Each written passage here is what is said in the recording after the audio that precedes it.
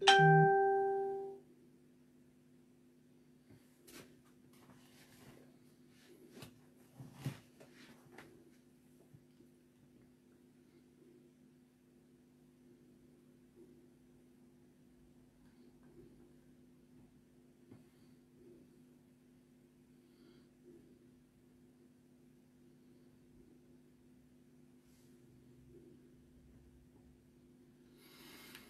ሰላም ቅዱሳን ወገኖች በምድር ዙሪያ ያላችሁ እንደምን ዋላችሁ? እንደምን አደራችሁ? የአምላካችን እግዚአብሔር ስም ለዘላለም ይባረክ። እንዴት ናችሁ? የገባችሁ እያየው ነው። ወንድሜ አብነት ሰላም ብያለሁ። አሸናፊ እንዴት ናችሁ? ጌታ እግዚአብሔር ለዘላለም ስሙ ይባረክ። መስፍኔ እንዴት ናችሁ? ሁላችሁንም ብጠራ ደስ ባለኝ። ቶሎ ቶሎ ነው የሚሄደው። እግዚአብሔር ለዘላለም ስሙ የተባረከ ይሁን። ጥቂት ቆይታ እናደርጋለን። ዛሬ በጣም እንግዲህ አጭር ምለውን ደቂቃ ነው የምጠቀመው ነው ብዬ ምለው ቶሎ ቶሎ ቸኩዬ እናገራለሁኝ። ይህንን ሀሳብ ዛሬ የምናገርበትን ሀሳብ የትንቢተ አሞፅን ትንሽ በወፍ በረር የትንቢቱን መጽሐፍት በዳሰሳ መልክ እናየውና ምናልባት በተለይ በዚህ በምዕራፍ 9 ቁጥር 24 ላይ ማነው ቁጥር 7 ላይ ባለው ላይ እሺ እሺ ወንድሜ አብነት ድምፄ ይሰማል? ጥሩ ነው። እሺ thank you። ጌታ ኢየሱስ ይባረክ።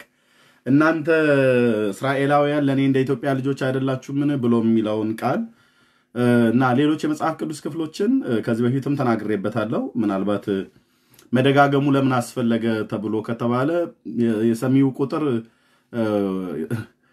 ብዙ ሰው ስለሆነ ያለው እንግዲህ ምናልባት የሚሰማው ገብቶ በወቅቱ የሰማ ሰው ነው የሚሰማው። ምን ያህል ሰው እንደሰማው አላቅም። በወቅቱ የሰማውን ያህል ሰው ግን ሰምቶታል እና ይሄን ክፍል ብዙ ሰዎች ይህንም ክፍል ብቻ ሳይሆን ሌሎችንም የቅዱሳት መጽሐፍትን ለየራሳቸው በተለያየ አይነት ትርጉም ይተረጉሙታልና የኢትዮጵያ ልጆች እናንተ እስራኤላውያን እንደ ኢትዮጵያ ልጆች አይደላችሁምን ብሎ የሚለውን እኛ ኢትዮጵያውያንን እግዚአብሔር በቃ ጻድቃን ብሎ የመሰከረልን የጻድቃን ሕዝብ እና የጻድቃን መገኛ ብለን የምንለው በታሪካችን በጣም ሲተረክ የኖርንበት ያደግንበት ሁላችንም በአንድም በተዘዋዋሪ መንገድ ይህንን ከነበርንበት ሃይማኖትም እንደዚሁም ደግሞ ካሳደጉን ቤተሰብ ሁሉ ሳይቀር ስንሰማ እና ስንኖረው ያደግነው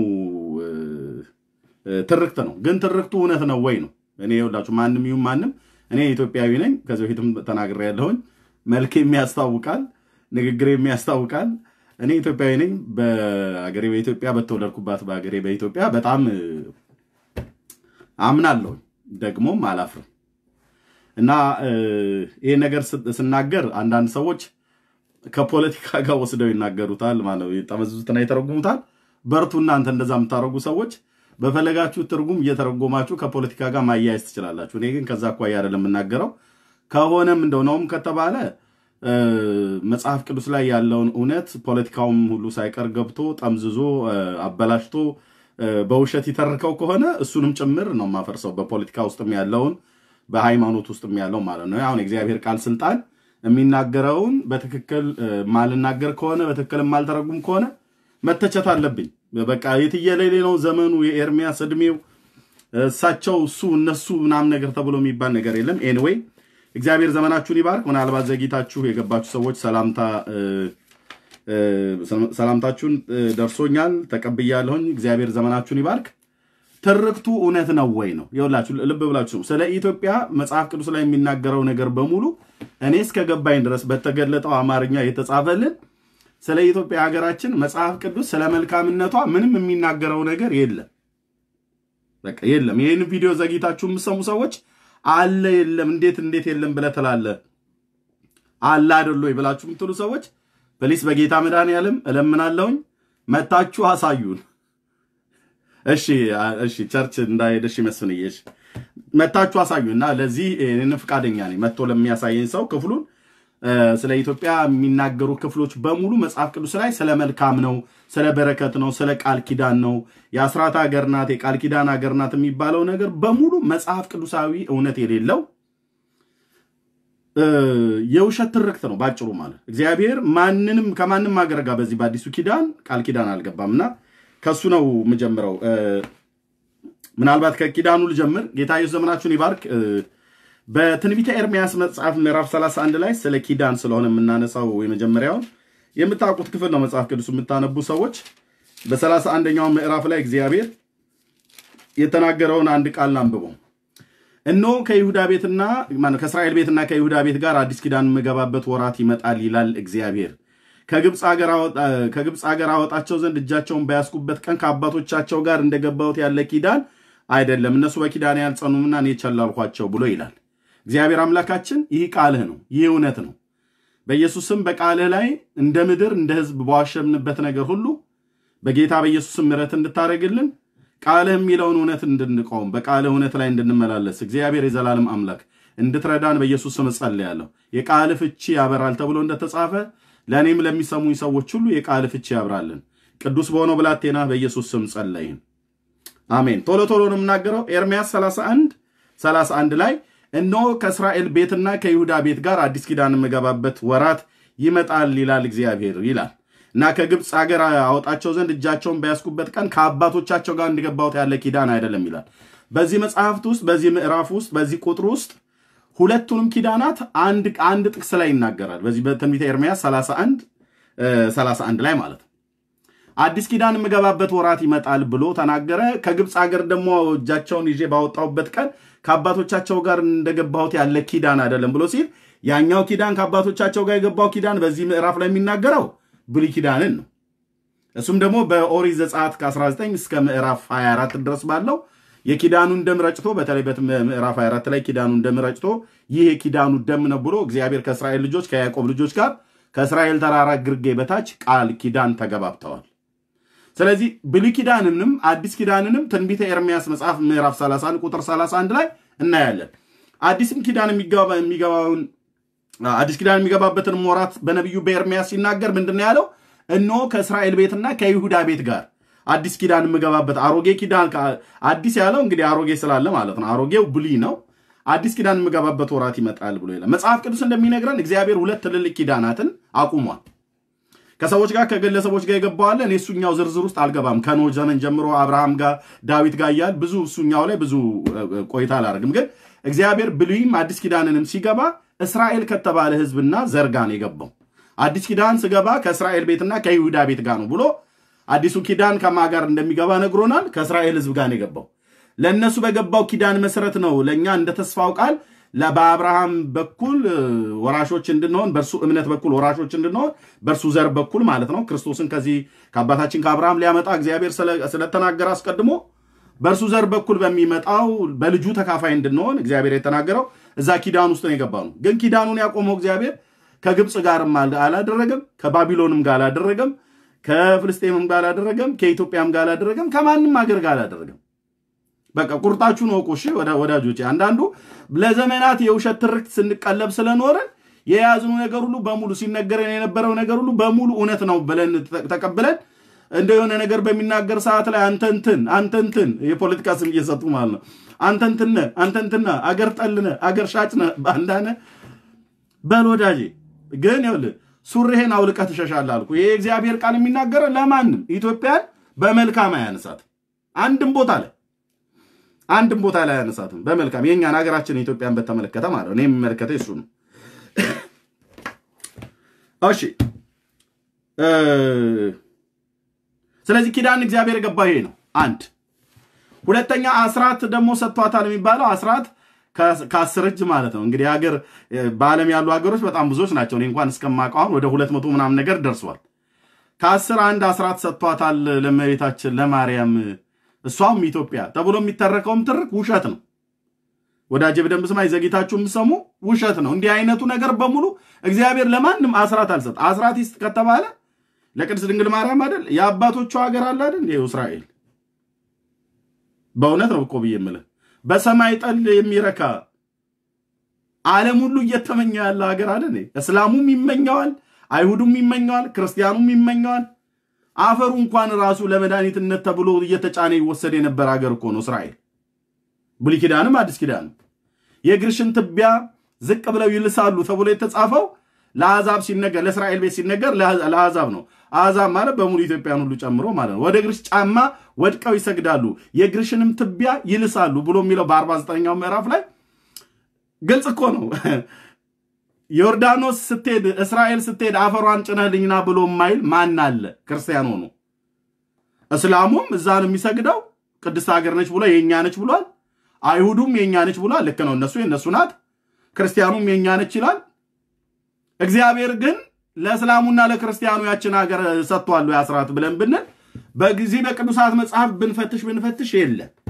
ለአይሁዳውያኑስ ሙሉ የተጠቀጠቀው ለእነሱ የተሰጠው፣ ምድሪቱ ማለት ነው። ለአብርሃም የሰጠሁት ነው የሚለው ጌታ።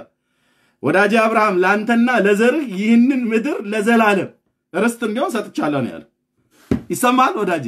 በቃ አለቀ ደቀቀ። ከዚህ ውጭ መፈናጠር ምንም ነገር መላላጥ ካልሆነ በስተቀር ምንም እንደማናመጣ ነው እግረ መንገዴን መናገር ያለብኝ። ደስ እያለ የምናገረው እውነት በጣም ደስ ይላል ማለት ነው። እና በቃ የኛ ነች፣ ሁሉም የኛ ነች፣ የኛ ነች፣ የኛ ነች ይላል እና እግዚአብሔር አስራት ቢሰጥ መስጠት ካለበት ለቅድስት ድንግል ማርያም መስጠት ካለበት የአባቶቹ ሀገር አለ አይደለም፣ የአማረ ሀገር ማለት ነው። በጣም ደስ የሚል የአማረ ሀገር። ስለዚህ ይሄ የአስራት ሀገር የቃል ኪዳን ሀገር የሚባለው እግዚአብሔር አዲስ ኪዳንም ላይ ብሉይ ኪዳንም ላይ እግዚአብሔር የገባው ከአንድ ሀገር ጋር ነው። ቃል ኪዳን ብሉይ ኪዳንም ከእስራኤል ከዘር ጋር ነው። አዲስ ኪዳንንም ከእስራኤል ዘር ጋር ነው። okay አዲስ ኪዳንም ሲገባ ከይሁዳና ከእስራኤል ቤት ጋር ነው። ነቢዩ ኤርሚያስ አይዋሽም። እንትና እንዳይመስል መምሬ እንትና እንዳይመስል እሱ ወይ መምህር እንትና ወይ ፓስተር እንትና የ pulpit ና የመድረክ ላይ ጭብጨባና man of God በጣም ትልቅ መገለጥ ነው ያመጣው ቻቻቻቻቻ ሃሌሉያ ምናም ነገር ብሎ የሚል አጀብ ወይ ደግሞ ቃለ ሕይወት ያሰማልን መንግስተ ሰማያትን ያዋርስልን ብሎ የሚልንም ጭብጨባና አጀብን ፈልጎ የሚዋሹ ሰዎች አይደሉም። እነኚህ የእግዚአብሔር ነቢያት ናቸው። የተናገሩት በመንፈስ ቅዱስ ነው። የተናገሩት በሙሉ ትክክል ነው እና ኪዳኑን እግዚአብሔር ያቆመው ከእስራኤል ሕዝብ ጋር ነው። okay። ስለዚህ የአስራት ሀገር አይደለችም፣ የቃል ኪዳንም ሀገር አይደለችም ኢትዮጵያ። መጽሐፍ ቅዱስ አንድም ቦታ ነቁጥ dot dot ነጥብ dot ነጥብ ፈልጌ የቃል ኪዳን ሀገር ነች ብሎ የሚል የለም። ካለ ግን ያ ሰው እስኪመጣ ድረስ ቸኩያለሁ። እኔው page ላይ እዚሁ live ላይ ጋብዘዋለሁ። ከኦርቶዶክስም ይሁን ከጴንጤም ይሁን ከየትኛውም ይሁን አልፈራህም አልኩ ወዳጅ። በዚህ እውነት ወገብህ ይፈታል፣ ትጠየቃለህ። ዝም ብሎ እንደዚህ አይ እንዴ አንተ በቃ በቃ ኢትዮጵያ እንደዚህ ምናምን ነገር ብሎ አገሬ ናት ኢትዮጵያ። ግን አገሬን ኢትዮጵያን በውሸት ትርክት ዝም ብሎ ያልሆነ ነገር ማለት የለብንም። okay መጽሐፍ ቅዱስ አይልም ነው በጥንቃቄ ላነበበው መጽሐፍ ቅዱስ አይልም። እናንተ የኢትዮጵያ ልጆችን ለእኔ ማነው እናንተ የእስራኤል ልጆች ለእኔ እንደ ኢትዮጵያ ልጆች አይደላችሁምን ብሎ የተባለው ትርክት I think ይሰማል። ሊቀጥል ወይስ ቆሟል? አንዳንዴ pause የሚያደርገው ነገር አለ ወገኖች፣ ይሰማል።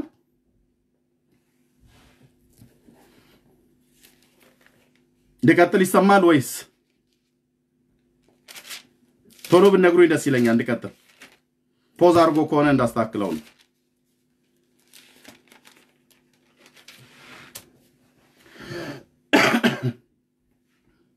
ይሰማል። እሺ thank you ሰማሃር thank you።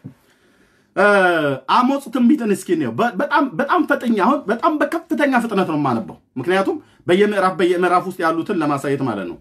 ምዕራፍ ዘጠኝ ቁጥር ሰባት ላይ አይደለ እናንተ የኢትዮጵያ ልጆች ለእኔ እናንተ ኢትዮጵያ እናንተ እስራኤላውያን ለእኔ እንደ ኢትዮጵያ ልጆች አይደላችሁምን ብሎ ያለው እግዚአብሔር የኢትዮጵያ ልጆች ጻድቃን ስለሆኑ እናንተም ልክ እንደነሱ ጻድቃን ናችሁና ይላል ተብሎ አይደለ? በፕሮቴስታንቱም በኦርቶዶክስም ቤተክርስቲያን ሁሉ ሳይቀር አንዳንድ የእግዚአብሔርን ቃል ፍቺ የማያውቁ ሰዎች ዝም ብለው እየተነሱ ህዝብን ለማስጮህ ህዝብን አሜን ለማስባለት በጣም ዛሬ በጣም ድንቅ የሆነ ቃል ሰበከ ተብሎ ለመባል ለተራ ዝም ብሎ ዲስኩር ለሆነ ማለት ነው። ግን እስኪ እንየው እኔ የፕሮቴስታንትም ውሸታም ሰባኪዎችን የኦርቶዶክስም ውሸታም ሰባኪዎችን የእግዚአብሔርን ቃል ጠምዝዘው የማይለውን የሚያስብሉ የማይናገረውን እንዲናገር የሚያደርጉ ሰዎች ማንንም ቢሆን ትክክል ያልሆነው ትክክል አይደለም እላለሁ። okay ልቀጥል። አሞጽ የተነሳበትን ዘመን ማወቅ በጣም ተገቢ ነው። ሲጀምር ዘመኑ ማለት ነው። አሞጽ የተነሳበት ዘመን ኢዮርብዓም የሚባለው በሰሜን እስራኤል ላይ በነገሰበት ዘመን ነው።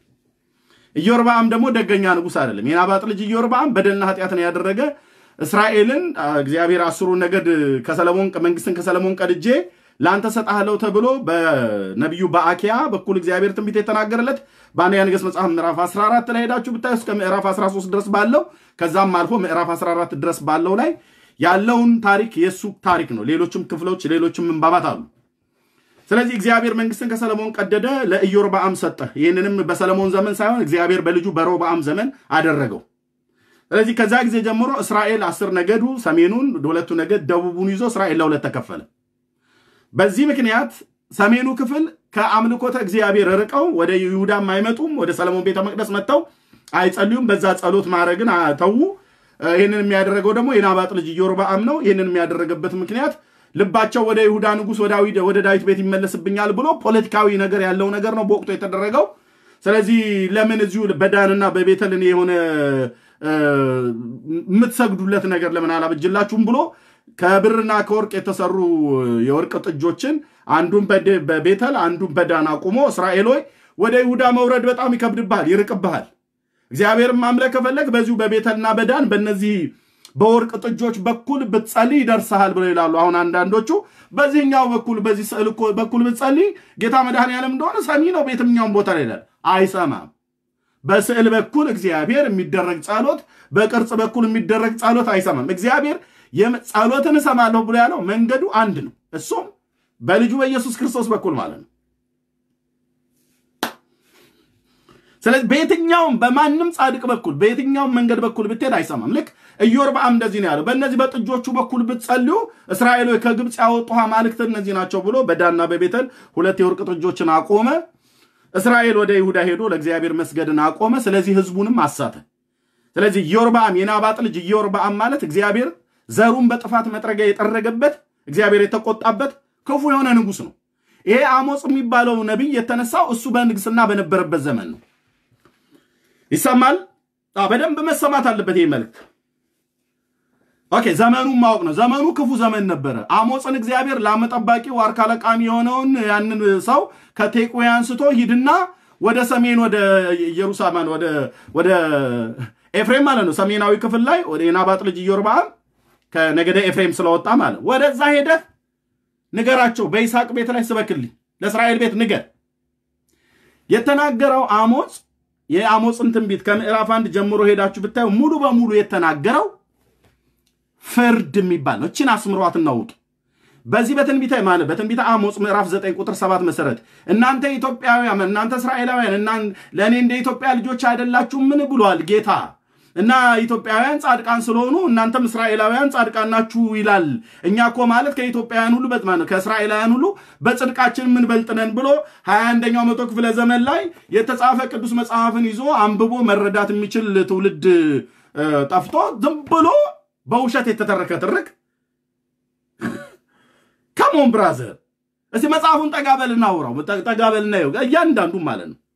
ዘመኑን ማወቅ ነው። እግዚአብሔር በዚህ ዘመን ላይ በኢዮርብዓም ዘመን ላይ እግዚአብሔር በእስራኤል ላይ ያዘነበት ከዚህም የተነሳ እግዚአብሔር ለአሦር ንጉሥ አሳልፎ ሊሰጣቸው ምርኮ ፈጠነ፣ ብዝበዛ ቸኮለ ብሎ በኢሳይያስ በኩል በምዕራፍ ስምንት የተነገረ አንዱም ጥቅስ ይሄ ነው። አሳሩን የሚያሳዩት ጥቅስ በተለይ ጴንጤ church ይህን ጥቅስ አሳሩን ያሳዩታል። ምርኮ ፈጠነ፣ ብዝበዛ ቸኮለ ይላልና እንደው ምርኮች ሊፈጥን ነው። አሜን። ክፍሉ የሚናገረው ለዛ አይደለም። አይ እሱ ስለ ምርኮ መመለስ ከሆነ ሌላ የምናነሳበት አለ። እግዚአብሔር የተወሰደብንን ምርኳችንን እንዲመልስልን ከሆነ ሌላ የምናነሳቸው የአዲስ ኪዳንም የብሉይ ኪዳንም ምንባባት ጥቅሶች አሉ። በእሱ ላይ ተንተርሰን መንፈስ ቅዱስ የሚሰጥን ትናገራለን። ግን ያኛው እኮ የሚናገረው ምርኮ ፈጠነ፣ ብዝበዛ ቸኮለ ብሎ ያለው የሰማሪያና የደማስቆ ምርኮ በአሦር ንጉሥ እጅ ይሰጣል እኮ ነው የሚለው ኢሳያስ። ወይኔ ወይኔ ወይኔ ወይኔ በአሦር ንጉሥ እጅ ይሰጣል።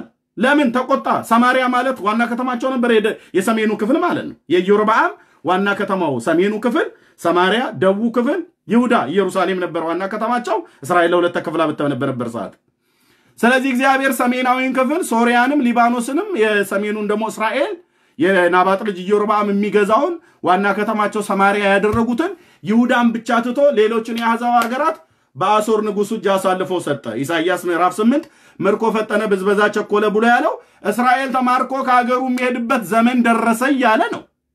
እና ይህንን አምጥተ እንዴት ነው አሁን ምርኮ ፈጠነ፣ ብዝበዛ ቸኮለ ብሏል። አሜን በይ ሃሌሉያ ተብሎ እንዴት በውሸት ላይ ቆሞ እውነትን ለመስበክ ይደረጋል? እግዚአብሔር በጣም የእውነት እኮ ብዬ የምላችሁ እንኳን አይደለም የእግዚአብሔርን ቃል እኔ የሆነ አቅንቼ በትክክል እኔ የነገር የገለጥኩልህን ሀሳብ አንተ ጠምዝዛ ያልሆነ ትርጓሜ ሰጥተህ ከተናገርከው እኔን እንኳን ሁሉ ሳይቀር ታናድደኛለህ። እኔ ይህንን አላልኩም ነው ብዬ የምልህ። እግዚአብሔር ስለ ምርኮ መመለስ የተናገረው ስንት የብሉይ ኪዳንም የአዲስ ኪዳን ምንባባትን መናገር እንችላለን። በተለይ የብሉይ ኪዳን ምንባባት Okay። ስለዚህ እግዚአብሔር ሕዝቅኤል ማን ነው አሞፅን ሲያስነሳው ሙሉ በሙሉ የተናገረው ፍርድ ነው። look አሁን ተከታተሉ። በጣም ፈጥኜ የሚሄደው ከመጽሐፉ ቀጥታ እያነበብኩ ነው የሚሄደው።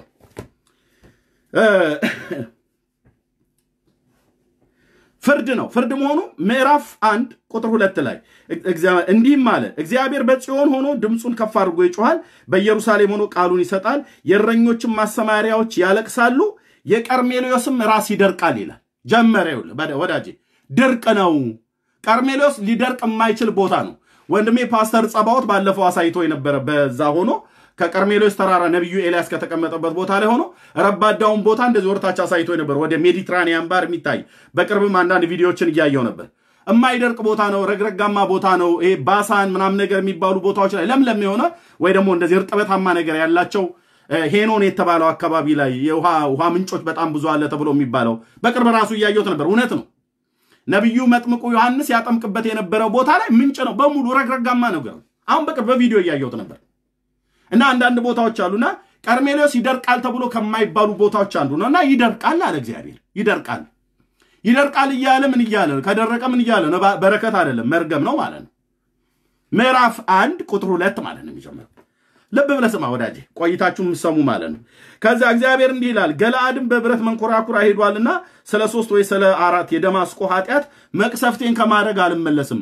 ከደማስቆ ይጀምራል፣ ከሶሪያ በሶሪያ ላይ ራሱ ይሄንን አደርጋለሁ በአዛሄል ቤት ላይ እሳትን እሰዳለሁ ነው እሰዳለሁ፣ የወልደ አዴርንም አዳራሾች ትበላለች ሶሪያ። እሺ ቁጥር ስድስት ምዕራፍ አንድ ቁጥር ስድስት አሞጽ ማለት ነው። አሁን የምናገረው ከአሞጽ ነው። ይቀጥላሉ እስከ ምዕራፍ ዘጠኝ ድረስ ቶሎ ቶሎ ፈጥናለሁ። okay እግዚአብሔር እንዲህ ይላል፣ ለኤዶምያስ አሳልፈው ይሰጧቸው ዘንድ ምርኮኞቹን ሁሉ ማርከዋልና ስለ ሶስት ወይንም ስለ አራት የጋዛን ኃጢአት መቅሰፍቴን ከማድረግ አልመለስም። በጋዛ እሳትን እሰዳለሁ፣ አዳራሿ ሁሉ ትበላለች ትበላለች። ተቀማጮች ከአዛጦን አጠፋለሁ፣ በትር የያዘውን ከአስቄሎና አጠፋለሁ። እጄም በአቃሮና እመልሳለሁ። ከፍልስጤማውያን የቀሩት ሁሉ ይጠፋሉ ይላል እግዚአብሔር። ጠራል እንግዲህ የአሕዛብን ሀገራት ሁሉ ደረደረልን። ከረሃብ ይጀምራል። ሲጀምር የእስራኤል ላይ ሲጀምር ድርቅ ይመጣል አላቸው። በድርቅ ነው የሚጀምረው። ከዛ ጎረቤቶቿን ሁሉ ኤዶሚያስ፣ ፍልስጤም፣ አቃሮን፣ ጋዛ ፍልስጤም ታላላቅ ከተሞች የሚባሉ አምስት ነበሯት። ጋዛ፣ አስቄሎና፣ አዛጦን፣ አቃሮን፣ ጌት የሚባሉ ማለት በኢያሱም ዘመን በኋላም በነቢያትም ዘመን አሁንም ያሉት ያው እስራኤል ልጆች ወርሰዋቸዋል። ብዙዎቹን መጽሐፉ ስላለን የወረሱት። እሺ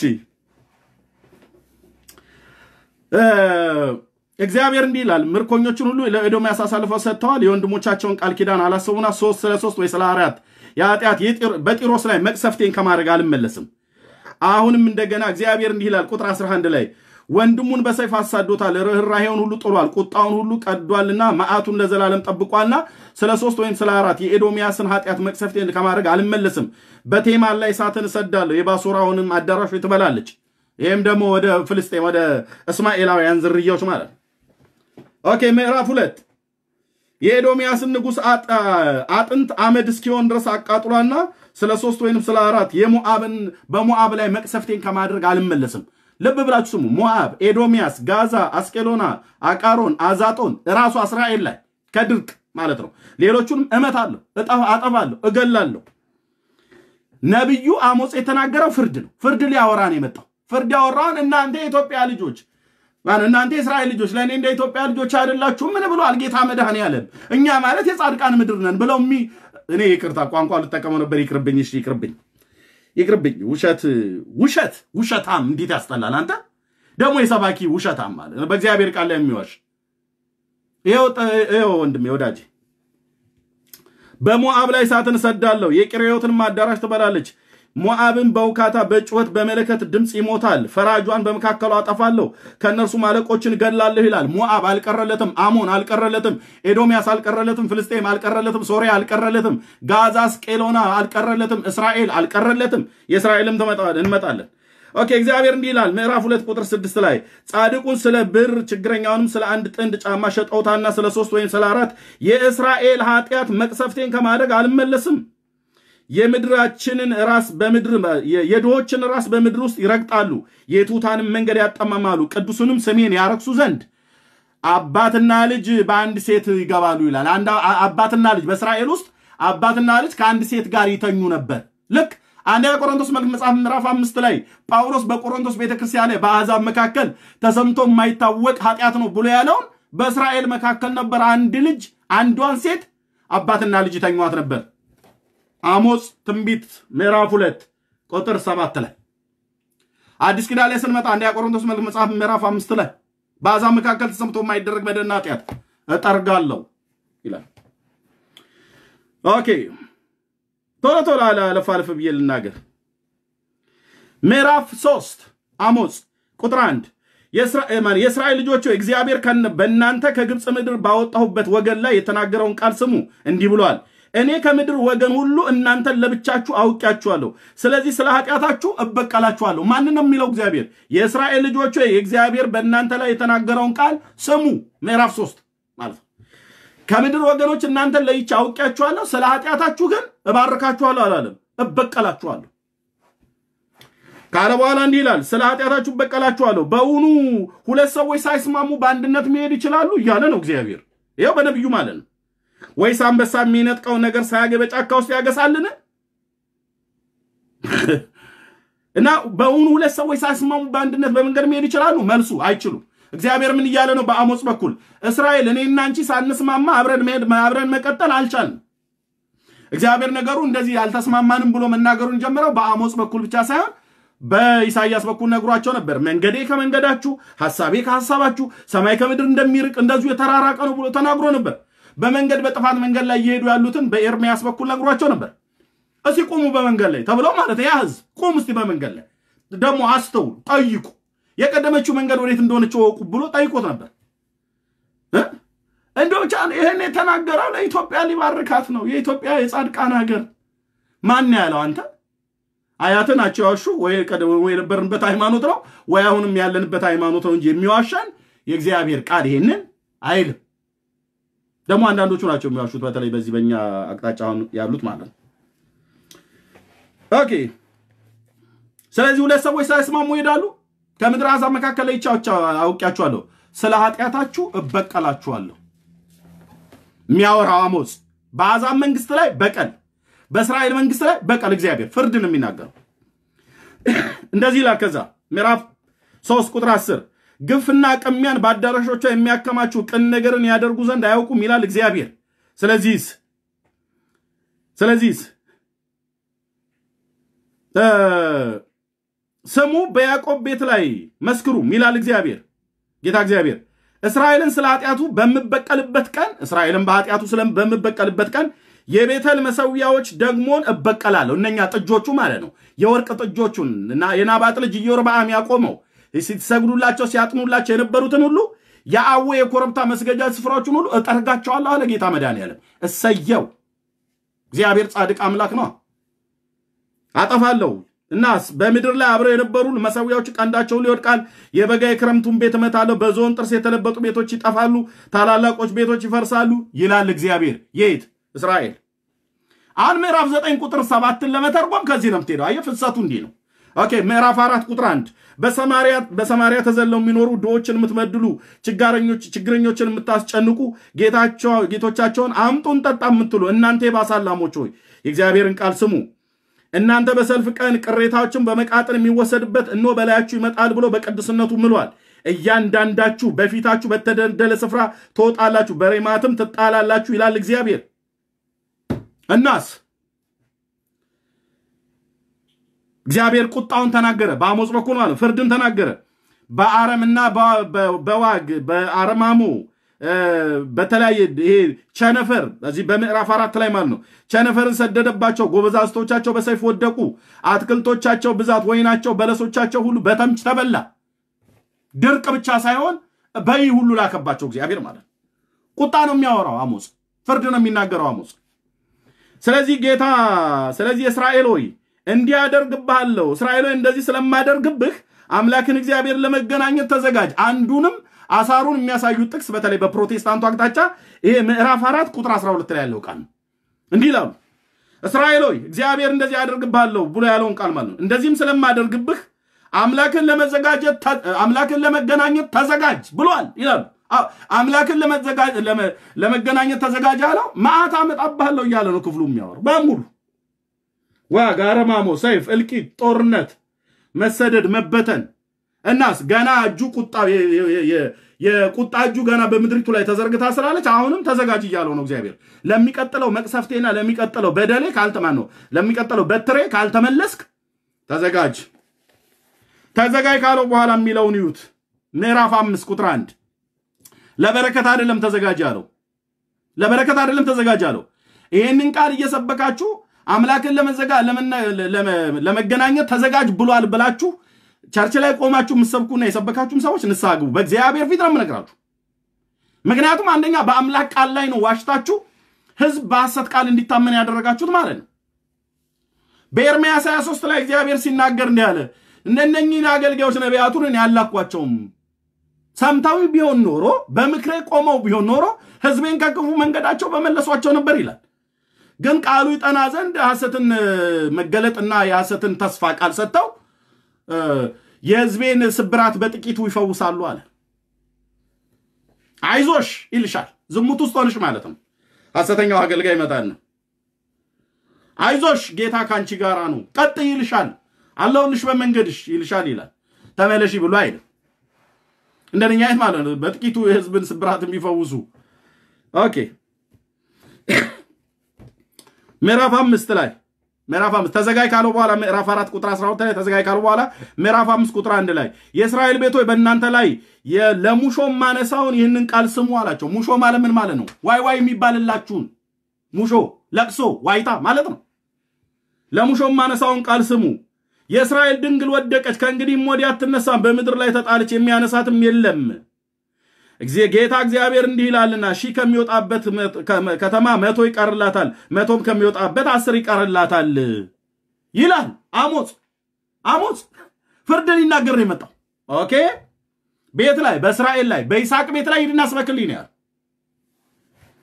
ስለዚህ እግዚአብሔርን ፈልጉት በሕይወት ትኖራላችሁ አላቸው። በዚህ በምዕራፍ አምስት ቁጥር ስድስት ላይ እና ምን አለ? እንደውም እግዚአብሔር እግዚአብሔር ለእስራኤል ቤት እንዲህ ይላል እኔም ፈልጉ በሕይወት ትኖራላችሁ። ምዕራፍ አምስት ቁጥር አራት ላይ ነገር ግን ጌልጌላ ፈጽሞ ትማረካለች፣ ቤተልም ከንቱ ትሆናለች።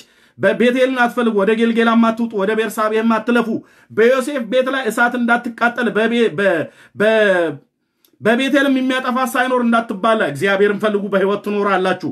ፍርድን ወደ እሬት የምትለውጡ ጽድቅን ወደ ምድር የምትጥሉ እናንተ ሆይ የሰባቱን ከዋክብት ኦሪዮ የተባለውን ከዋክብት የፈጠረውን ሞትን የሞትን ጥላ ወደ ንጋት የሚለውጠውን ቀኑን በሌሊት የሚያጨልመውን እግዚአብሔርን ፍሩ እያለ ተናገረ። ይህንን የሚናገሩትን ሰዎች ልክ አሁን በእኛ ዘመን እንደምናደርገው ምዕራፍ አራት ምዕራፍ አምስት ቁጥር አስር ላይ በበር አደባባይ የሚገስጸውን እንደ አሞፅን አይነት ጠሉ። እስራኤል ዞር በል እንዲህ አይነት እንዲህ አይነት መልእክት ነው ምን አድርገን በዚህ በዚህ አዲስ ዓመት የምታሰማ ትሰማለህ አልክ ወዳጅ እንዲህ አይነት መልእክት አትንገሩን እያሉ ማለት ነው። በበር አደባባይ የሚገስጸውን ጠሉ፣ እውነት የሚናገረውን ተጸየፉ። ድሃውን ደብድባችኋል፣ ስንዴውን የቀረጥን ወስዳችኋል፣ በተጠረበ ቤቶች ሰርታችኋል። የተጠረቡ ቤቶች የለም እንዴ? በአምቦ ድንጋይ የሰራሽ በአመፅ አመንዝረሽ፣ እኔ በግልጽ አማርኛ የምናገረው በጭናችሁ ደልላችሁ ነግዳችሁ፣ church ውስጥ ያላችሁ ማለት የትም ሀገር ሁኑ አመፅና የአመፅን ቤት የሰራችሁ ከሰዎች ላይ አመፅ የተለያየ ጉቦና የተለያየ ነውር ያለበትን ነገር ተቀብላችሁ ከሰራበት ቤት ውስጥ ሬሳ ይወጣል። ንስሐ ካልገባ ይሄ የአሞፅ አምላክ የእኛም አምላክ ነው። የሚፈራ እግዚአብሔር ነው። ጽድቅ እንደሆን ጽድቅ ነው። ብሉይ ኪዳንም አዲስ ኪዳንም ጽድቅ ጽድቅ ነው እና ጻድቁን በጉቦ የምታስጨንቁ እናስ ፍርድን የምታጣምሙ ስለዚህ ዘመኑ ክፉ ነውና አለ አሞጽ። ዘመኑ ክፉ ነውና ምዕራፍ አምስት ቁጥር 13 ላይ ስለዚህ ክፉ ዘመን ነውና በዚህ ዘመን አስተዋይ የሚሆን ዝም ይላል ያለው ይሄን። በዚያ ዘመን ላይ ክፉ ነበር ዘመኑ። እግዚአብሔር በእስራኤል አዝኖ በአሦራውያን አሳልፎ ሊሰጣቸው ያለበት ዘመን ስለነበር በሕይወት እንድትኖሩ መልካሙን እንጂ ክፉን እንጂ መልካሙን አትፈልጉ ብሎ አላቸው። እሺ ከዛ ምዕራፍ አምስት ቁጥር 16 ስለዚህ የሰራዊት ጌታ እግዚአብሔር እንደዚህ ይላል፣ በአደባባዩ ላይ ዋይታና ለቅሶ ይሆናል። እናስ በአደባባዩ ዋይታ ይሆናል፣ በየመንገዱ ሁሉ ወዮ ወዮ ይባላል። ገበሬዎች ወደ ለቅሶ፣ አልቃሾችም ወደ ዋይታ ይጠራሉ። በመካከል አልፋለሁ፣ ለበረከት አይደለም። በአሞጽ በኩል በዚያን ጊዜ ሲናገር ይህን የማወራው የትንቢቱን ፍሰትና ዘመኑ ላይ የነበረውን ታሪክ ለማወቅ ነው። እንዲሁ ዝም ብሎ በታሪክ ውሸት ገንብተው ኤርትራ የጻድቅ ሀገር ነች። ኢትዮጵያ የጻድቅ ሀገር ነች። ሱዳን የጻድቅ ሀገር ነች። እንትንም የጻድቅ ሀገር ነች። እኛ ለዓለም ምሳሌ የምንሆን ብለን በውሸት በቃ በፊኝ እንደ ፊኛ ይቅርታ አድርጉልኝ፣ ቃሉ ጥሩ ስላልሆነ ይቅር መተንፈስ አለብን። እግዚአብሔር ቃሉ የሚናገረው በዛን ወቅት ላይ እግዚአብሔር ለእስራኤል ቤት የተናገረው ስለምን እያወራ እያለ ነው። ምዕራፍ ዘጠኝ ቁጥር ሰባት ላይ ኢትዮጵያን የጠቀሳት እመጣልሃለሁ ታግሰ ከሰማኝ።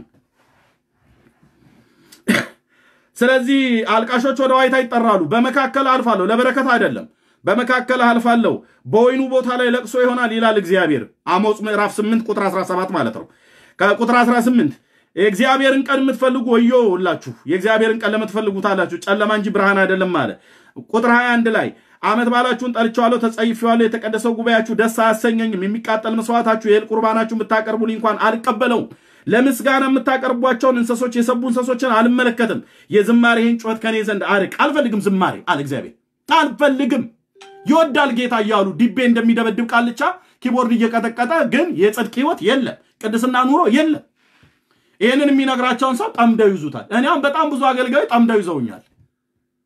ሚስትን አልነጠቅኩብህ፣ ብርን አልዘረፍኩብህ፣ በትንቢትና በጸሎት ስም አልበዘበዝኩህ። ይሄ እግዚአብሔር ቃል እውነት ሲመርህ የምትጠላይ ከሆነ ጥላ መብት ነው፣ መብት ነው። እናስ እግዚአብሔር ታዲያ ምን ነበር የሚፈልገው? የዝማሬን ጩኸት ከኔ ዘንድ አርቅ፣ የመሰንቆን ዜማ አላደምጥም። ነገር ግን ፍርድ እንደ ውሃ ጽድቅም እንደማይደርቅ ፈሳሽ ይፍሰስ አለ። ይፍሰስ ስለ መስዋዕት ግን ከሆነ እግዚአብሔር የምታነሱልኝ የእስራኤል ቤት የእስራኤል ቤት ሆይ በውኑ በምድረ በዳ አርባ ዓመት ሙሉ መስዋዕትና ቁርባን አቀረባችሁልኝ አቅርባችሁልኛል። በምድረ በዳ ስትጓዙ እኔ አቅርቡልኝ ስዬ አውቃለሁኝ። በመስዋዕትስ ማቅረብ ምክንያት እኔን በእናንተ ላይ ከብጃለሁ አይነት ነገር ነው እግዚአብሔር የሚናገረው። ስለዚህ ምዕራፍ ስድስት ላይ ደረስን። በጽዮን ላሉ አለመኞች በሰማሪያ ተራራ ተዘለው ለተቀመጡ ሰሜኑ ክፍል ማለት ነው። የሰሜኑ ክፍል ዋና ከተማ ሰማሪያ፣ በሰማሪያ ተዘለው ለተቀመጡ የእስራኤል ቤት ወደ እነሱ ለመጡባቸው ለሕዝብ አለቆች ወዮላቸው። ወደ ካኔል አልፋችሁ ተመልከቱ። ከዚያም ወደ ታላቂቱ ሐማት ሂዱ። ከዚያም ወደ ፍልስጤም ወደ ጌት ውረዱ። እነርሱ ከነዚህ መንግስታት ይሻላሉን? ማንን? እስራኤልን። ሎክ እስራኤላውያኖቹ ሰሜኑም ክፍል ይሁን ደቡቡ ክፍል እንደውም ከአታላይቱ ይሁዳ ይልቅ ከዳተኛይቱ እስራኤል ጸደቀ ተብሎ ደግሞ ደቡቡ አለችው ታች ያለችው አንደኛ አሜን ሃሌሉያ። ጌታ ይመስገን ነቢያቱም እኛ ጋ ናቸው ታቦቱም እኛ ጋ ነው ቤተ መቅደሱም እኛ ጋ ነው ብለው የሚሉ በዚያን ዘመን የነበሩ በቤቱ ግን የሚያታልሉ እግዚአብሔር ሲናገር በነቢያቱ በኩል ከአታላይቱ ይሁዳ ይልቅ ከዳተኛይቱ እስራኤል ጸደቀች ብለህ ተናገር ብሎ ኤርሚያስን አናገረው። okay እነርሱ ከእነዚህ መንግስታት ይሻላሉ ወይ ይላል። ምዕራፍ ስድስት ቁጥር ሁለትን ልድገማት። ወደ ካኔል አልፋችሁ ተመልከቱ። ከዚያም ወደ ታላቂቱ ሐማት፣ ከዛ ወደ ፍልስጤም። ሐማት የት ነው ያለው? ፍልስጤም ነው፣ ሶሪያ ውስጥ እና ወደ እነሱ ተመልከቱ። ወደ ጌትም ውረዱ። እነርሱ ከእነዚህ መንግስታት ይሻላሉ ነው። እነማ እስራኤላውያኖቹ ከነኚህ ከተጠሩት አገሮች የተሻለ ነገር አላቸው? የላቸው። ትንቢተ ኤርምያስ መጽሐፍ ምዕራፍ ሁለት ላይ እግዚአብሔር ቃል ሲናገር ወደ ኬትም ደሴቶች አልፋችሁ ተመልከቱ ከዛ ወደ ቄዳርም ልካችሁ መርምሩ። እንደዚህ አይነት ነገር ተደርጎ ከሆነ ጠይቁ በአሕዛብ መካከል።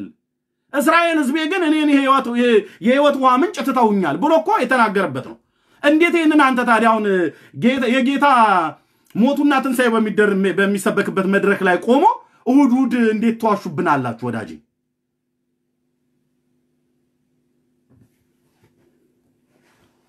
ከዚያስ እግዚአብሔር ይህንን ተናገረ ካለ በኋላ ስለዚህ በምርኮ መጀመሪያ ይማረካሉ። ምዕራፍ 6 ቁጥር 7 ማ እስራኤላውያን ተደላድለው ከተቀመጡበት ዘንድ ዘፈን ይርቃል። ጌታ እግዚአብሔር የያዕቆብን ትቢት ተጸይፍ ያለው ትቢተኛ ሆኗል ያዕቆብ። ምዕራፍ 6 ቁጥር 8 ላይ ያዕቆብ ትቢተኛ ሆኗል፣ አዳራሾቹን ሁሉ ከተማይቱ የሚኖሩባትን ሁሉ አሳልፌ እሰጣለሁ ብሎ በራሱ ምሏል እግዚአብሔር ይላል። okay ምዕራፍ 6 በርብሩ ፈትሹ እናንተ ከፈለጋችሁ ምዕራፍ ሰባት ጌታ እግዚአብሔር እንዲህ አሳየኝ ምን አሳየህ አሞጽ? የኋላውን ሳር በሚበቅልበት በመጀመሪያው አንበጣም ፈጠረ። የኋላው ሳር የተባለው የበልጉ ማለት ነው፣ ብላጊ በትንቢተ ኤርምያስ መጽሐፍ ምዕራፍ አምስት ቁጥር 24 ላይ የተጻፈው የኋለኛውና የፊተኛው ዝናብ የተባለው የኋለኛውን ዝናብ በጽድቅ አዝንቦላችኋልና እልል በሉ። እንደውም የመጨረሻው ዝናብ እየተባለ የሚባልበትም አለ። የመጨረሻው ዝናብ ያለው በኢዩኤል በኩል የመጨረሻው ዝናብ ያለው የትኛውን ዝናብ ነው? ከመንፈስ ቅዱስ ጋር አገናኝተው የሚሰብኩ ሰዎች አሉ። ልክ ነው። በዝናብ የተመሰለበት አፈሳለሁ ብሎ ያለው በትንቢተ ኢሳያስ ላይ የተናገረውን ቃል ሊሆን ይችላል ብለው፣ ግን ክፍሉ ግን እንደዛ አይደለም የሚያወራው። ይሄ የኦርቶዶክስም ሰባኪያን የጴንጤም ሰባኪያን አብዛኛው የሚዋሽበት ውሸት ነው ጥቅሱ። በተለይ ኢትዮጵያን በተመለከተ ማለት ነው። ተው እባክህ አንተ። እኛ ኢትዮጵያ ኢትዮጵያውያን የራሳችን ታሪክ አለን ጌታ ይሰጠን ማለት ምንም። ኢትዮጵያ ከኤርትራ አትበልጥም። ኢትዮጵያ ከሱዳን አትበልጥም። ኢትዮጵያ ከግብፅ አትበልጥም። ኢትዮጵያ ከየትኛውም አትበልጥም። ከበለጠች መብለጧን በጽድቅ ስራዋ ታሳያ አንተ አይመስልም እንዴ? ነው የጣዖት ምድር አይደለን እንዴ? በደንብ በደንብ እኛ ከግብፃውያን በምን እንሻላለን? አሁን እውነት ለመናገር ክርስቲያኖች ነን ብለን ከሆን የትኛውንም ክርስቲያን መሞገት እንችላለን። በእግዚአብሔር ቃል እውነት እውነት በእውነት ቃል ላይ የቆምነን ወይ በክርስቶስ ይህንን ወንጌል ክርስቲያንን ብለን እኮ ይህንን ወንጌል እስካሁን ድረስ በምድሪቱ ላይ የሚገፋና ይህ እንደዚህ መጽሐፍ የሚጠላ የለም በምድራችን። ይህንን ይዘህ አሁን ያሉም አሉ ገብተው ያሉ ማለት ነው ወደዛ ይሉሃል። ይህንን ይዞ ደግሞ ክርስቲያን ብሎ ይህንን የሚያህል መስቀል አንገቱ ላይ አስሮ ይዞራል። በምን ታሻልክ አንተ ታሪክ ከግብፃዊው? okay እና የሚበቅልበት የኋለኛው ሳር የሚበቅልበትን አሳየኝ ይላል። አንበጣ ፈጠረ። ልክ አሁን ኢትዮጵያ ላይ እንደተፈጠረው ማለት ነው። ምዕራፍ ሰባት ቁጥር አንድ ላይ አንበጣን ፈጠረ እግዚአብሔር። እነሆ ከንጉሱ አጨዳ በኋላ የበቀለውን ገቦውን ሁሉ የምድሩንም ሁሉ ልምላሜ በልተው ጨረሱት ይላል። እግዚአብሔር አሳየው ለአሞጽ። በልተው ጨረሱት እና ምን አለ አሞጽ? እኔም ጌታ ሆይ እስራኤል ማነው ጌታ እግዚአብሔር ሆይ ይቅር እንድትል እለምንሃለሁ ያዕቆብ ታናሽ ነው እንዴት ይቆማል አሉ። እግዚአብሔርም ስለዚህ ነገር ተጸጸተ አይሆንም አለ። አቤት የጌታ ምሕረቱ! አቤት የጌታ ምሕረቱ! እንደገና እግዚአብሔር ደግሞ አሳየው። ምዕራፍ ሰባት ቁጥር አራት ላይ እግዚአብሔር እንዲያሳየኝ እሳትን በምድር ላይ ጠራ፣ እሷም ታላቁትን ቀላያትን ሁሉ በላች። እኔም ጌታ እግዚአብሔር ሆይ ያዕቆብ ታናሽ ነው እንዴት ይቆማል ብዬ አለ። ማረ አሁንም ቁጥር ሰባት ላይ ምዕራፍ ሰባት ቁጥር ሰባት ላይ ጌታ እግዚአብሔር እንዲያሳየኝ ቱንቢ ያሳየኝ። ከዚያስ በሕዝቤ ፊት በሕዝቤ መካከል ጌታ እግዚአብሔር በሕዝቤ መካከል ቱንቢ ያደርግሃለሁ። ከዚህ በኋላ አላልፋቸውም፣ እንዲሁም ከእንግዲህም በኋላ አላልፋቸውም። የይስሐቅ የኮረብታ መስገጃዎች ይፈርሳሉ፣ የእስራኤል መቅደሶች ባድማ ይሆናሉ። በኢዮርብዓም ቤት ላይ እሳትን አነሳለሁ አለ እግዚአብሔር። ይህን ነው ሊናገር የመጣው። አትዋሽ እባክህ። ኢትዮጵያ እንዲህ አለች እንደዛ አለች። እናንተ ኢትዮጵያውያን ከእስራኤላውያን እኮ በጽድቅ እንደው እንደው ፍሬ ያፈራችኋል። እንዲህ የሚለውን አገልጋይ አንዱን አገልጋይ እግዚአብሔር እዚህ ሚዲያ ላይ ባገናኘኝ ልክ ኤርሚ እንትና ኤልያስ እዛ ቀርሜሎስ ተራራ ላይ ሐሰተኞችን አግኝቶ እንደተጋፈጠ ማለት ትንተባተባለህ አልኩ ወዳጅ። የፕሮቴስታንትና የኦርቶዶክስ ሰባኪዎች ይህንን የእግዚአብሔርን ቃል እንዴት ብለው እንደሚዋሹበት አብዛኛው ማን ይጠቅማል? ይሄ መድረክና ጉባኤ ለማስጮህ ለክፉ የተነገረውን ለመልካም እየጠመዘዙ ማድረግ ለጊዜው ወይ የሆነ የሆነ ነገር ለማድረግ ዝናና ክብር ለማግኘት በቃ ተረተረው ወረደበት ምናምን ነገር ተብሎ ለሚባል ከሰዎች ዘንድ ለመጣ ጎሽታና አሜታ ሊጠቅም ይችላል። ምን ይጠቅማል? በእግዚአብሔር ቃል ላይ ዋሽቶ ጭብጨባ ማግኘት፣ በእግዚአብሔር ቃል ላይ ዋሽቶ የፖስታ ገንዘብ ማግኘት፣ በእግዚአብሔር ቃል ላይ ዋሽቶ የደጀ ሰላም ፍርፋሪ ማግኘት ምን ይጠቅማል? ምንም። በአምላክ ቃል ላይ አይዋሽም።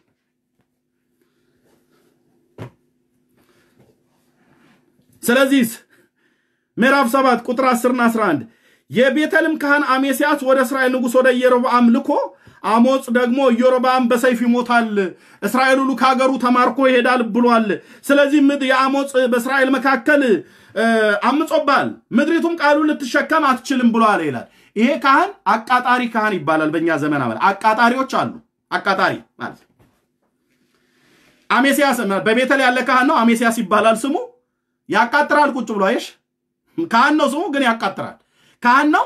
ነቢዩን ንጉሱ እንዲመታው ያዛል ወይ ደግሞ ያነሳሳል ንጉሱን ማለት ነው።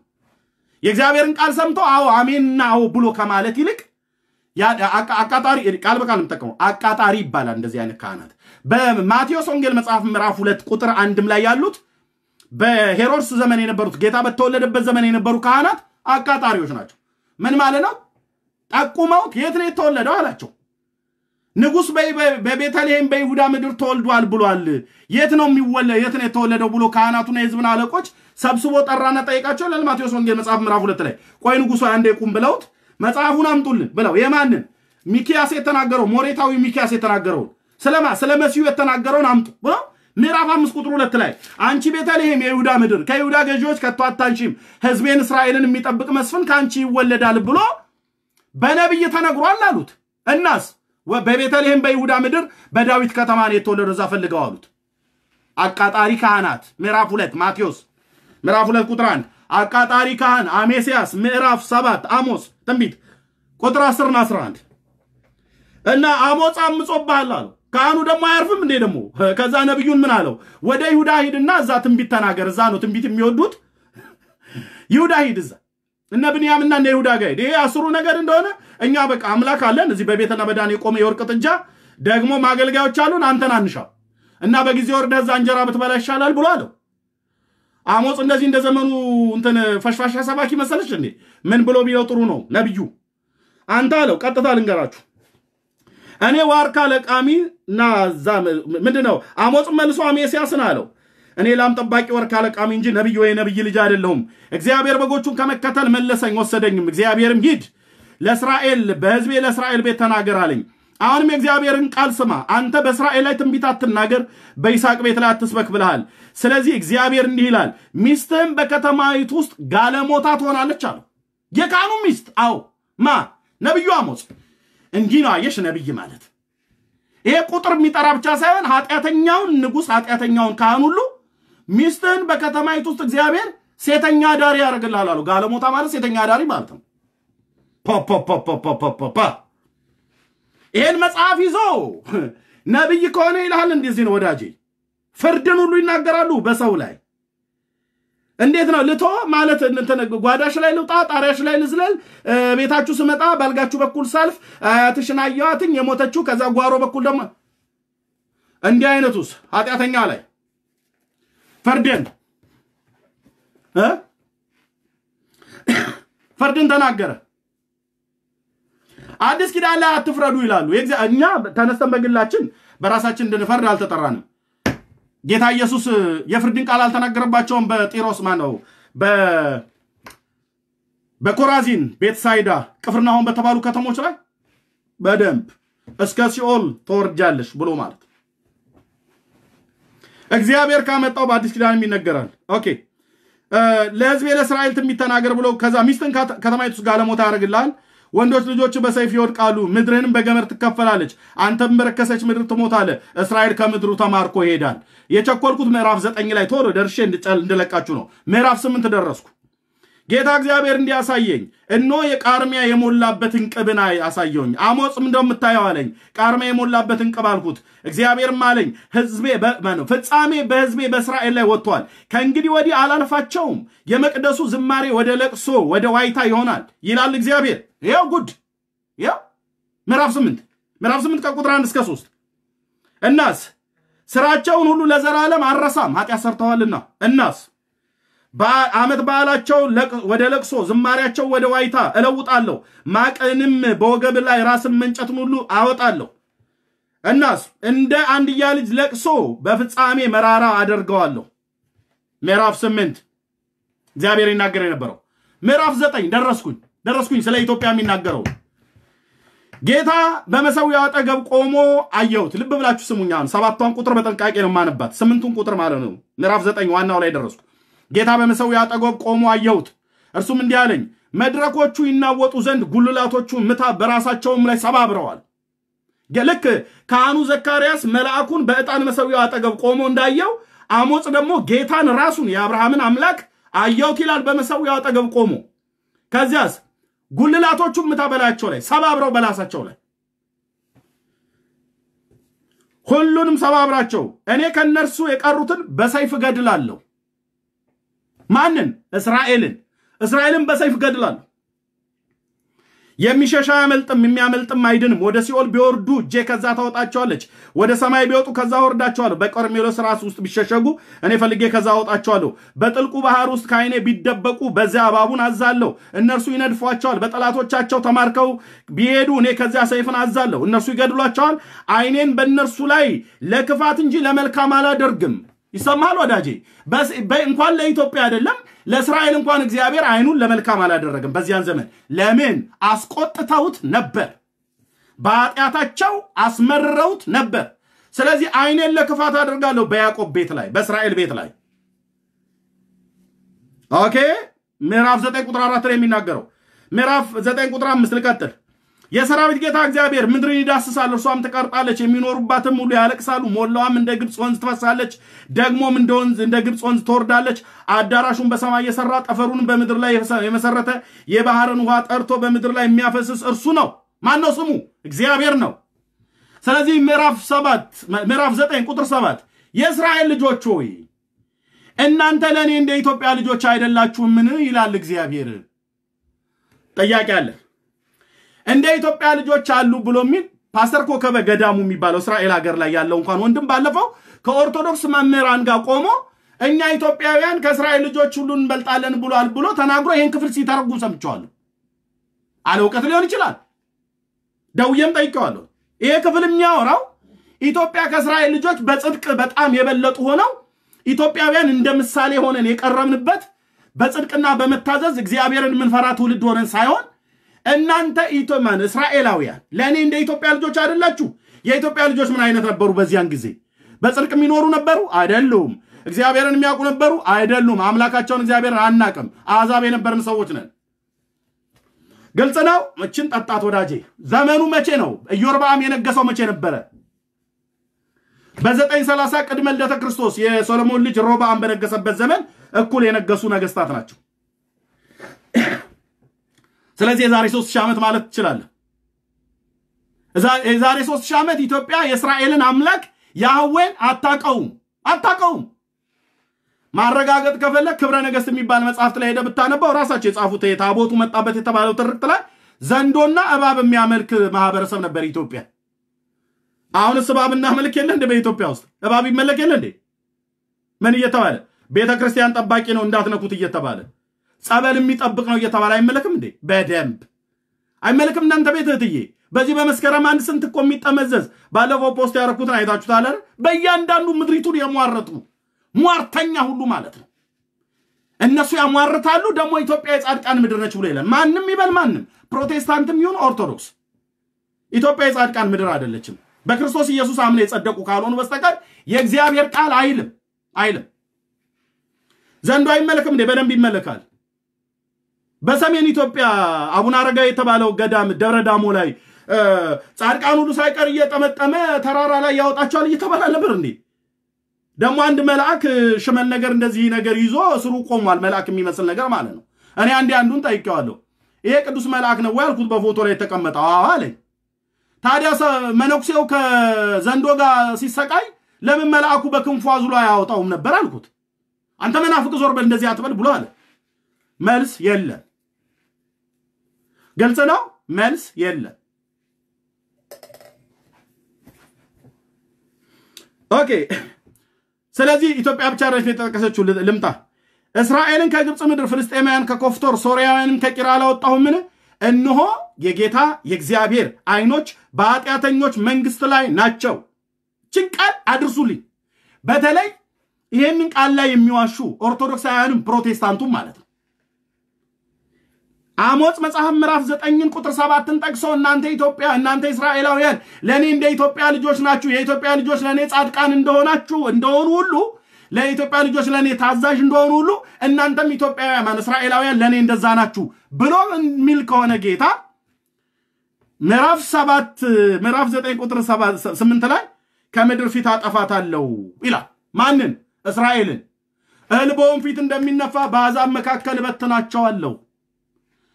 ኢትዮጵያውያን ጻድቃን ሆነው እግዚአብሔር እኛን የጻድቃን ምሳሌ አድርጎ ካቀረበን ለምንድን ነው እስራኤልን ጉልላቶቹ ምታ በራሳቸው ላይ ሰባብራቸው ወደ አሕዛብ ይበተኑ ያለው? ትመልስልኛለህ? መሳደብማ ቀላል ነው። እዚህ እንትን አንዱ ምን አለኝ እንትን በጥቅስ መደባደብ ደስ ይልሃል ምናምን ነገር ብሎ አለ። እሱን የፈለግከውን በል ወዳጅ፣ የፈለጋችሁትን በል። በተለይ ጴንጤዎች ናቸው ደግሞ ይህን የሚለው የሚሉት የምን መደባደብ ነው? ውሸትህንማ በእግዚአብሔር ቃል እውነት እናፈርሳለን። ማንም ሰው መዋሸት አይችልም በእግዚአብሔር ቃል ላይ የሕያው አምላክ ቃል ካልገባን ቁጭ ብለን መማር ካልገባን መጠየቅ። በእምነት የቀደሙን ወንድሞች ማን ገደለ? ማንንም አልገደለም። ግን በውሸት ኢትዮጵያ እኛ እንደ ኢትዮጵያ እኛ እንደ እናንተ ኢትዮጵያ እስራኤላውያን ለእኔ እንደ ኢትዮጵያ ልጆች አይደላችሁ ምን ብሎ ሲል ምን እያለ ነው? የኢትዮጵያ ልጆች እዚህ ጋር የተጠቀሱት ኢትዮጵያ፣ ሶሪያ፣ ፍልስጤም፣ ግብፅ እንዲሁም እስራኤል አምስት ሀገሮች። እስራኤል አለች እዚህ ጋር ኢትዮጵያ፣ ግብፅ፣ ሶሪያ፣ ፍልስጤም፣ ኢትዮጵያ ማን እስራኤል አምስተኛይቱ ሀገር በትንቢተ አሞጽ መጽሐፍ ምዕራፍ ምዕራፍ ዘጠኝ ቁጥር ሰባት ላይ እቺ እስራኤል ናት። ኢትዮጵያ፣ ግብፅ፣ ፍልስጤም፣ ሶሪያ ምን እያላቸው ነው እግዚአብሔር? እናንተ የእስራኤል ልጆች ሆይ ለእኔ እንደ ኢትዮጵያ ልጆች አይደላችሁም? እነኛ አገራት ግብፅ፣ ሶሪያ፣ ፍልስጤምና ኢትዮጵያ ምንድን ናቸው? የኃጢአተኛ መንግስት ምሳሌ። ማን ያለው? ቁጥር ስምንትን post አድርጓት አንድ ሰው ቁጥር ስምንት ምዕራፍ ዘጠኝ ቁጥር ስምንት እነሆ የጌታ እግዚአብሔር አይኖች በኃጢአተኞች መንግስት ላይ ናቸው ይላል። ማነው ቶሎ post የሚያደርጋችን ክፍል? ብዙ ሰው ገብቷል። Okay እሺ ጥሩ ነው። እንኳን ጠራህ ጌታ መድኃኒዓለም። እችን ቃል ያሽራል። የእግዚአብሔርን ቃል እውነት ታውቃላችሁ፣ እውነትም አርነት ያወጣችኋል አይደል ብሎ የሚል ይሄንን ነው። እስራኤል እዚህ ያለችዋ ቁጥር ስምንትን post አድርጉልኝ አንድ ሰው ምዕራፍ ዘጠኝ ቁጥር ስምንትን ኢትዮጵያ ማን እስራኤል እዚህ ያለች ኢትዮጵያ፣ ፍልስጤም፣ ግብፅ፣ ሶሪያ እግዚአብሔር ምን ይላል በአሞጽ በኩል እናንተ የእስራኤል ልጆች ሆይ ለእኔ እንደ ኢትዮጵያ ልጆች አይደላችሁም? የኢትዮጵያ ልጆች ምንድን ናቸው? የኃጢአተኛ መንግስት ምሳሌ። ግብፅስ የኃጢአተኛ መንግስት ምሳሌ። ሶሪያና ፍልስጤምስ የኃጢአተኛ መንግስት ምሳሌ።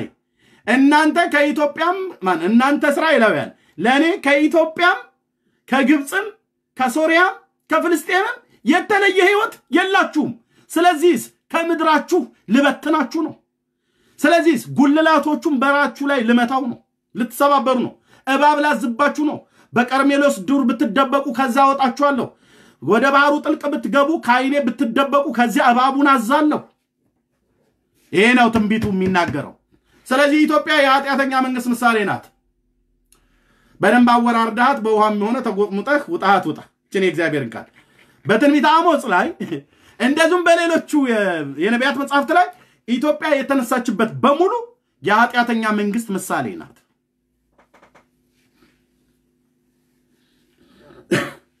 የጻድቃን ሀገር ነች አሉ አንዳንድ ዝም ብለው አርቲ ቡርቲ ነው የሚባለው አይነት ነገር የሚናገሩ ፓስተሮችና እነዘበነ ናቸው። የጻድቃን ሀገር ናት፣ የቃል ኪዳን፣ የአስራት፣ የእመቤቴ፣ የእናቴ እያሉ ብለው የሚሉት መጽሐፉ ግን አይልም። መጽሐፉ አይልም። የመጽሐፍ ውስጥ ኢትዮጵያ የጻድቃን ምድር ነች አይልም። አሞጽ መጽሐፍ ምዕራፍ ዘጠኝ ቁጥር ሰባትና ስምንትን ጠቅሶ የጻድቃን ምድር ነች ብሏል ብለው ያሉትን ውሸት እግዚአብሔር የዘላለም አምላክ ስሙ ይባረክ። በእግዚአብሔር ቃል ብርሃን ነው የምንቀደው ከሰው ልብ ላይ ማለት ነው። ያው እጠይቃለሁ ኢትዮጵያ ጻድቅ ከነበረች እግዚአብሔርም እናንተ እስራኤላውያን ለእኔ እንደ ኢትዮጵያ ልጆች ጻድቃን ናችሁ ብሎ ካለ ለምንድን ነው እግዚአብሔር በያዕቆብ ቤት ላይ እሳትን እሰዳለሁ ያለው? ለምንድን ነው የእስራኤል ድንግል ወደቀች ያለው? ከእንግዲህም ወዲህ አትነሳም ያለው? ለምንድን ነው በኢሳይያስ ትንቢት መሰረት አሶራውያንን እልካለሁኝ ሀብታቸው ተበዝብዞ የሰማርያና የደማስቆ ሀብትና እኩሌታ በአሶር ንጉሥ እጅ ይሰጣል። ስለዚህ ምርኮ ፈጠነ፣ ብዝበዛ ቸኮለ ብለህ በሰው ሰሌዳ መጽሐፍ ጻፍ ብሎ ያለው ለምን ይሆን? እኔ በእርግጠኝነት በውስጥ መስመር አሁን ይችን post ባረኳትኝ በውስጥ መስመር አንድ ማዕት ጴንጤ ሰደበኝ አልኳችሁ። አንድ ማዕት ጴንጤ በነቂስ ወጥታችሁ ተሳደቡ። የእግዚአብሔር ቃል የማይለውን አትበሉ። ጴንጤም ሆነ ኦርቶዶክስ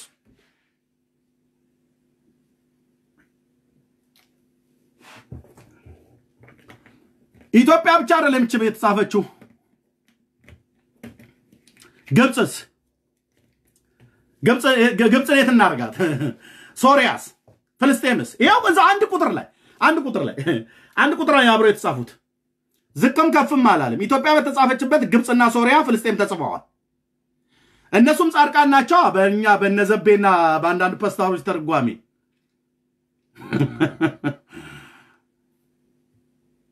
ለዘመናት በውሸት ትርክት የተገነባ ትውልድ ከእውነት ጋር ተስማሙ። ተናገር እውነቱን ነው። ፔጄ የምናገረው እውነት ይህንን ነው። ድካምና ስንፍናዬን አስተካክላለሁ። መታረም ባለብኝ ነገር እንታረማለሁኝ።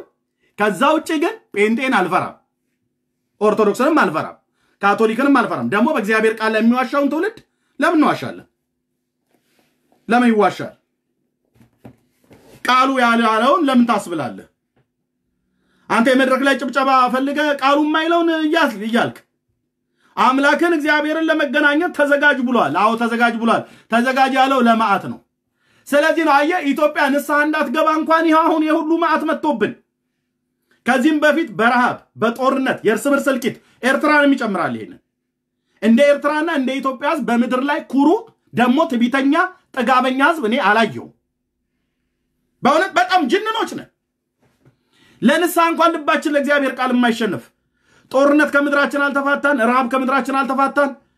ንስሐ እንዳንገባ ጭራሽ የጻድቃን ምድርና የአስራት ምድር ናት እያሉ በውሸት ሲቀልቡን ሲያጠጡን ኖሩ እና አሁን ንስሐ ግባ ተብሎ ቸርቹ ሲሰበክ እዛኛው ቤት እንኳን ይሻላል ትንሽ ሄደው ለንስሐ ልጆች ለንስሐ አባታቸው ይናገራሉ። እዚህ ጭራሽ የንስሐ ስብከት ሁሉ ከመድረክ ላይ ያስወገዱት። ኢትዮጵያ የጻድቃን ምድር ብትኖር አንተዬ ልምጣላ እውነቱን ለምን ረሃብ አልተላቀቀንም? ለምንድነው ስደት የበዛብን ኤርትራውያንና ኢትዮጵያውያን? የጻድቃን ምድር ከሆነች ለምንድነው በድርቅ የምናልቀው? ከብቶቻችን የሚያልቁት ድርቁ ሲገርመን ለምንድነው እርስ በርስ ጦርነት የምንተላለቀው?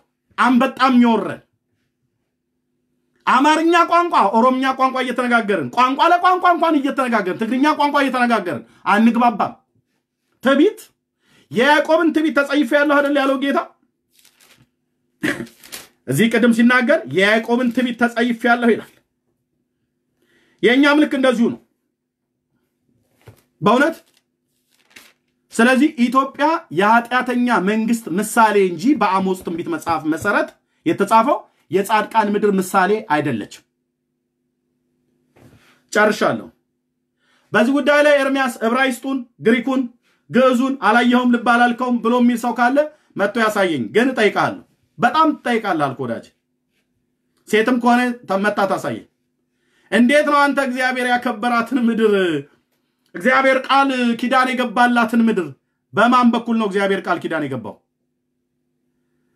እግዚአብሔር ከእስራኤል ቤት ጋር ቃል ኪዳን ሲገባ ሙሴን ወደ ተራራ ጠርቶ የእስራኤልን ልጆች የያዕቆብን ልጆች ከተራራው ዙሪያ ተራራውን ማንም ሰው እንዳይነካ ወሰን ተደርጎለት እንስሳ እንኳን ቢነካው ተራራውን እንስሳው ቢነካው ተወግሮ ይሙት የሚል ትእዛዝ ሰጥቶ እግዚአብሔር ባሪያውን ሙሴን ወደ ተራራው ጫፍ ላይ ጠርቶት በዚያ ለእስራኤል ቤት እንዲበል ለያዕቆብ ቤት እንዲበል ብሎ ተናግሯል። እግዚአብሔር ከስራ ከኢትዮጵያ ጋር ቃል ኪዳን ሲገባ የትኛው ፓስተር የትኛው መነኩሴና ባህታዊ ነው ወይ ጳጳስ ነው ቆሞ ከእግዚአብሔር ጋር ቃል ኪዳን የተጋባበትን መጽሐፉን ይንገረን። የትኛው ተራራ ነው የተጋባው? ምን አለ እግዚአብሔር ለኢትዮጵያ ቃል ኪዳን የገባለ ምን ብለ ምን አረጋታለሁ ብሎ አለ።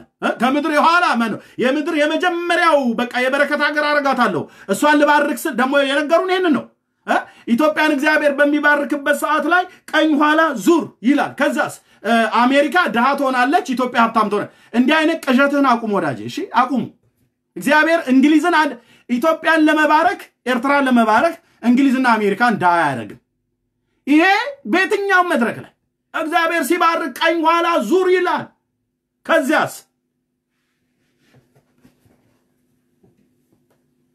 እንደውም እኛ ምድር ላይ ጻድቃናን ብለው ከሚሉ ሰዎች ይልቅ በክርስቶስ ኢየሱስ ያመኑት ካልሆኑ በስተቀር በክርስቶስ ኢየሱስ ያመኑት ጻድቃን ነን።